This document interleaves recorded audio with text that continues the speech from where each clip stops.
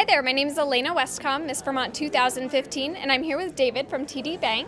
David, can you tell me what your role at TD Bank is? I'm a commercial banker at TD here in Burlington. Perfect. Now, do you get to visit or travel the state of Vermont as you're in your role? Yes, I do. Where's your favorite place to visit? Stowe. Stowe. And what do you like to do in Stowe? I like the hot air balloon rides in Ah. July.